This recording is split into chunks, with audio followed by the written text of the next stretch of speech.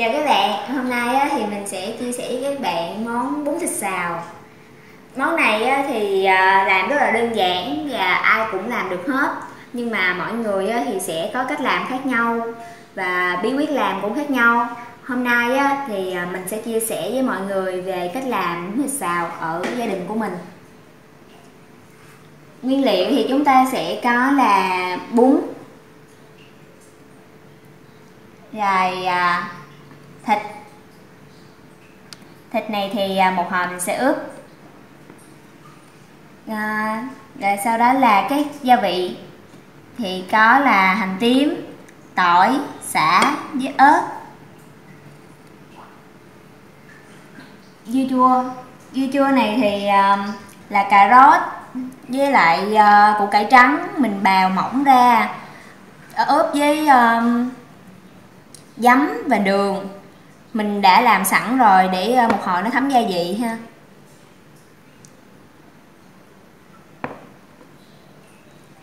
Rồi ờ, rau. Rau thì mình có dưa leo, salad với rau thơm. Một hồi khi mà mình ờ, để bún vào thì mình sẽ cắt rau này ra để phần trên. Và giá. Giá này thì do nhà mình tự làm, nó nên là nó ốm, cao nhìn không được đẹp lắm nhưng mà đựng cái là nó sạch. Cuối cùng là đậu phộng. Đậu phộng này thì mình đã rang và lột vỏ rồi ha. Một hồi mình sẽ băm nhuyễn cái này ra rắc lên phần bún để cho nó thơm. Bây giờ thì à, chúng ta sẽ bắt đầu làm nha các bạn. Đầu tiên á, thì à, mình sẽ cho vào đây một muỗng hành để cho nó thơm.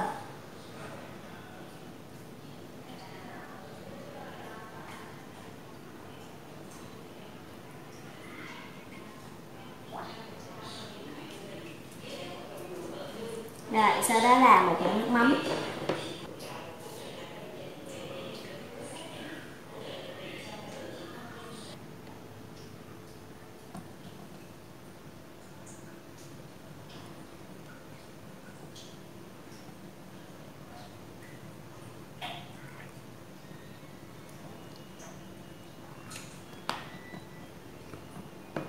Kế tiếp là một muỗng bột ngọt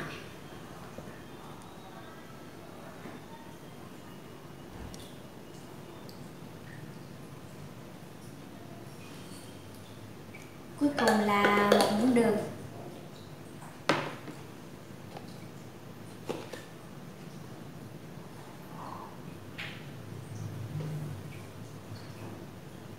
bây giờ à, chúng ta sẽ trộn đều lên. Hiện tại thì mình đang trộn nửa cái thịt hai mấy gia đình mình á, thì à, thích ăn thịt nạc dăm cho nên á, là mình cũng lựa thịt nạc dăm thôi. Nhưng mà nếu như uh, các bạn sử dụng thịt nạc thăn hoặc là thịt nạc thôi cũng được.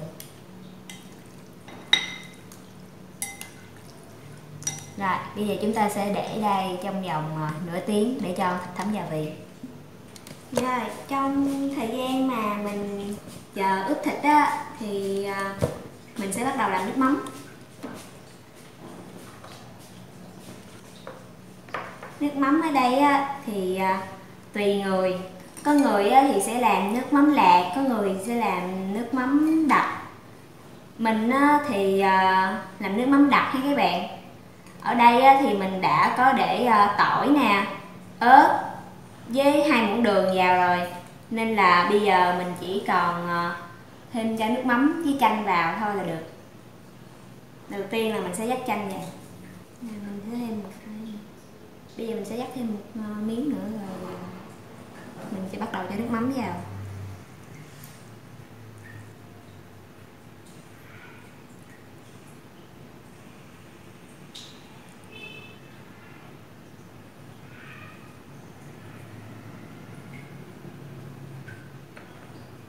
Bây giờ thì chúng ta sẽ bắt đầu cho nước mắm vào.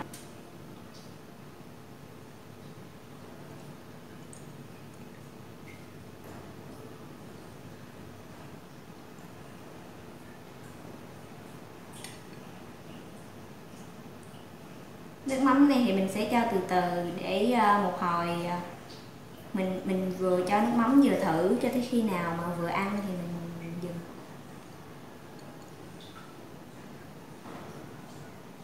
đầu tiên thì mình sẽ cho khoảng ờ, 3 muỗng vào chén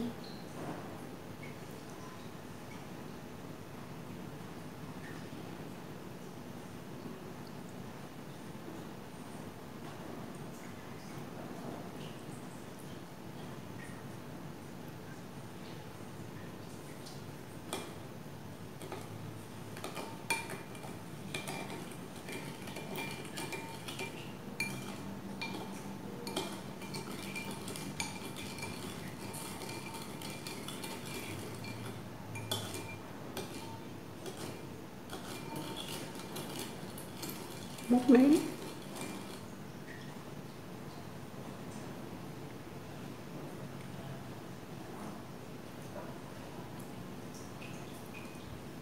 bây giờ thì chúng ta sẽ cho thêm chút nha quý vị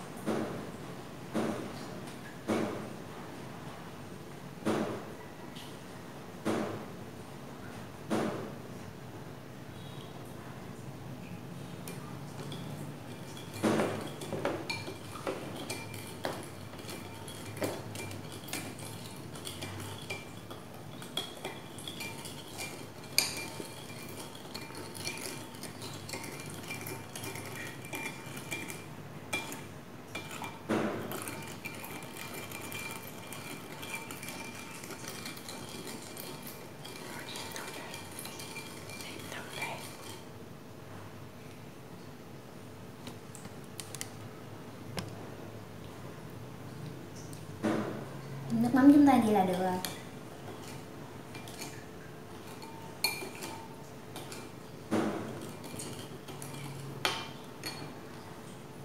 Rồi, bây giờ là thịt của chúng ta đã ướp xong rồi đó các bạn. Bây giờ chúng ta sẽ bắt đầu xào thịt.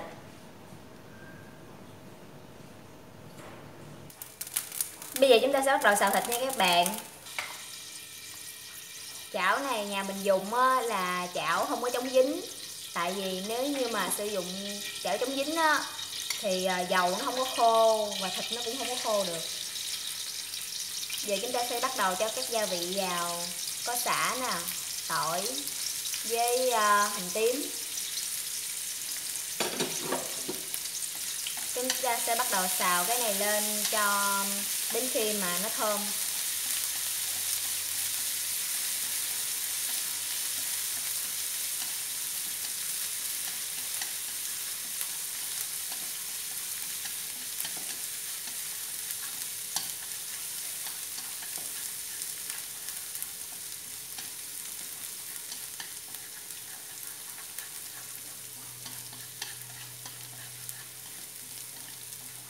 Giờ mình bắt đầu nghe mùi hơi thơm rồi đó nhưng mà mình sẽ xào thêm một chút xíu nữa.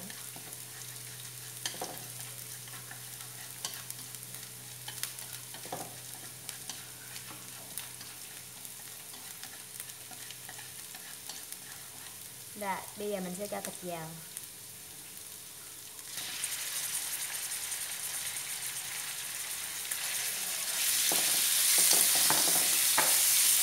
xào thịt á, thì uh, mình để lửa hơi lớn một xíu để cho thịt nó vàng lên luôn.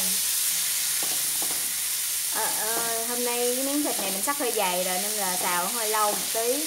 Lúc mà các bạn uh, sắc thịt đó thì lưu ý là sắc mỏng một chút nữa thôi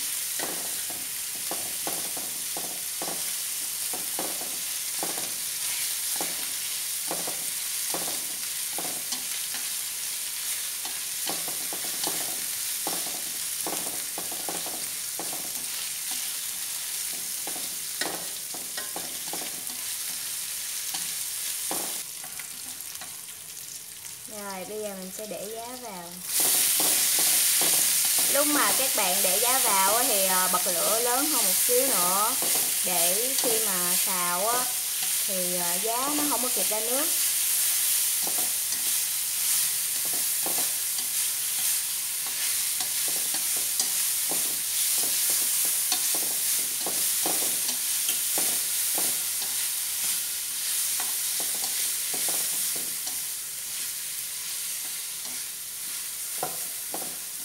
Vào vậy là xong rồi đó các bạn. Rồi, bây giờ mình sẽ bắt đầu để ra dĩa để mình ăn nha các bạn. Trong dĩa này thì mình đã để bún với dưa leo rồi. Bây giờ mình sẽ để à, giá và thịt hồi nãy mình xào.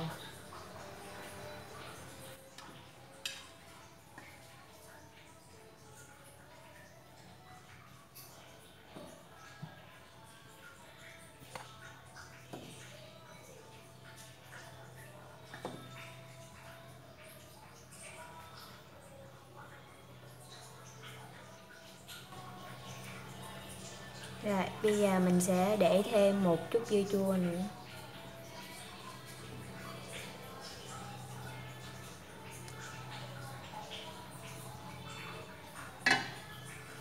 Và cuối cùng là mình sẽ rắc đậu phộng lên trên.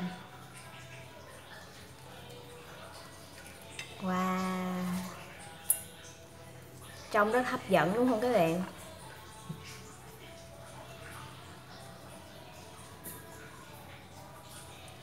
Mình có màu à, vàng của thịt nè, rồi màu xanh của rau, màu cam cam nhắn trắng của à, dưa cải.